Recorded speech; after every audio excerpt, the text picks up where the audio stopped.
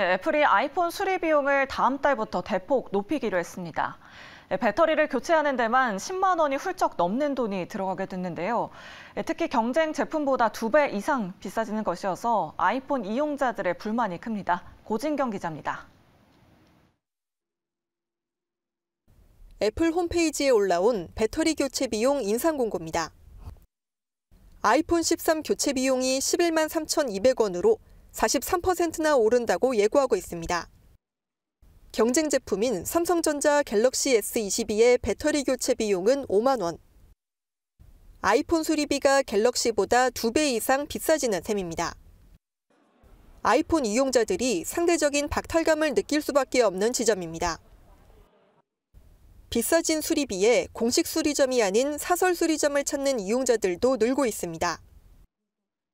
공식 그런 수리 매장에서 수리를 맡기려고 하면 비용이 너무 비싸서 어쩔 수 없이 불안하지만 사설 업체들에 계속 찾아서 수리를 맡겨야 되는 상황이 있긴 있었어요. 뭔가 전문성이 좀 의심되긴 하지만 그래도 아직 학생이다 보니 뭔가 비용적인 문제가 좀 더 중요하게 여겨져서 이 같은 비용 인상폭은 한국에서 유독 큽니다.